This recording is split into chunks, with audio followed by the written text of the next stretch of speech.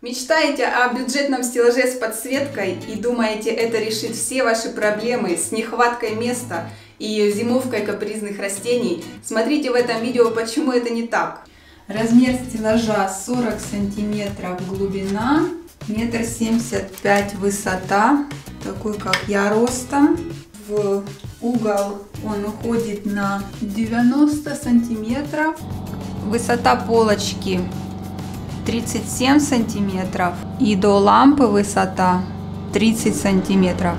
О, сосед стрижет траву и я опустила лампу ниже, ближе к листьям с помощью вот такого бруска. Теперь лампа подвешена на высоте 30 сантиметров и 20 сантиметров до листвы. Это было плохое решение с помощью вот такого бруска нужно было подвесить цепочку с карабинчиком или крючочком, чтобы менять высоту лампы в зависимости от высоты растений. Стеллаж я нашла по объявлениям местных столяров, он был не окрашен и 4 года назад стоил около 50 евро. Я его окрасила и покрыла водоотталкивающим лаком. А теперь о минусах этого стеллажа. Во-первых, мне не нравятся его полочки из реек с зазорами по 3 сантиметра. В эти зазоры проваливаются маленькие горшочки, опадающие листья и вода. Во-вторых, угловая модель стеллажа может стоять только в углу, где, как правило, очень темно, и естественный свет от окна его не охватывает.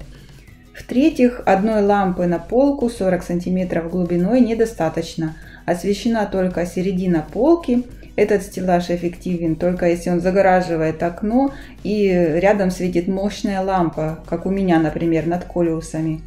В-четвертых, стеллаж не решает проблемы с нехваткой места, так как высота полочек 40 см рассчитана только на молоденькие черенки э, или мини, миниатюрные растения.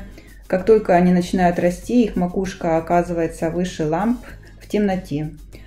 На моем стеллаже 8 ламп по 10 ватт. Работают они по 12 часов в день. Итого потребляют почти 1 киловатт электроэнергии в день, что равняется 31 евроценту в день. За год это 113 евро. Я считаю, что за неэффективное освещение растений это достаточно дорого. Для эффективного освещения растений на этом стеллаже нужно минимум 16 ламп. И, соответственно, счет за электричество увеличится до 226 евро в год. Мне часто задают вопрос, сколько всего растений у меня в коллекции. До сих пор я не считала, но вот на этом стеллаже я посчитала. У меня 100 растений. На верхней полочке расположено 30 растений. Это черенки, молодые хои. Я начала собирать коллекцию хой 5 месяцев назад – добыла черенки по два листа, укоренила их, и у многих уже есть новый прирост. Это будет их первая зимовка, жизненных запасов у них еще мало, поэтому я отправила их на стеллаж под лампы. Я планирую сделать детальный обзор моих хой в будущих видео. Я собираю пока только декоративно-лиственные виды хой, а не с крупными красивыми цветами. К весне им понадобятся опоры и они перестанут вмещаться на этот стеллаж. Последний ряд растений неудобно поливать, поэтому я использую бутылку с острым наконечником, чтобы дотянуться и дозированно маленькими порциями парить каждый горшочек. Колоказия мохито с каждым годом становится меньше. Скорее всего, она уснет в декабре и больше не проснется. Этот пятнистый гибрид медлительный, поэтому не выживает при нашем коротком лете. У меня везде натыканы колиусы, компактные сорта, которые сложно зимуют без досветки. Эту церапегию Вуда я не выращиваю на стеллаже, она свисала прямо возле стекла на окне. Это поставила ее временно. У меня на данный момент 5 разновидностей церапегии и все в цвету, несмотря на конец октября. Здесь э, ампельная хоя линеарис. Нужно размножить ее и подсадить черенков в горшочек погуще. Это тоже ампельная хуя куртизи, им не нужны будут опоры, поэтому они могут долго жить на этом стеллаже. Верхняя полочка самая любимая, наверное, потому что она находится на уровне глаз. Ей достается больше внимания, больше света от окна и остаточного света от лампы для колиусов. За зимовку этих 30 растений я спокойна. На второй полочке 23 горшочка. Здесь оксалис вулканикола, его темная форма. И варигатная форма сорт Plum Crazy. Бегония бреверимоза. Маленькая детка. Еще не уверена, что она перезимует. Тропическая лиана Дискорея дисколор. Летом еще как-то росла, три листочка выдала, а с сентября никакого прироста. Еще одно капризное растение, пилея серебристая. Вообще многие пилеи у меня плохо растут. Возможно, это все-таки э, террариумные, флорариумные растения. И в комнатных условиях плохо себя чувствуют. Так же, как пилея Норфольк, куст развалился, его нужно перечеренковать. Это новенький у меня черенок э, эпипремнума Happy Leaf. И звезда этой полочки э, Хоя, э, горшочек золота, Pot of Gold. Было 4 листочка, 2 новеньких. За ней бегония Black Mamba. У меня много деток сингониума конфетти, любимый сортик. Это Стефания Ректа. Все, что она выдала за лето, эти два листочка. Возможно, она еще и акклиматизируется. Я укореняю в воде черенки сингониума, колиусов. Несмотря на лампы, укоренение их затягивается. На светодиодных лампах был матовый чехол, который я сняла, чтобы он не крал свет, и поэтому опрыскивать растения водой невозможно. Я боюсь, чтобы вода не попала на светодиоды. Половину третьей полочки занимают колиусы.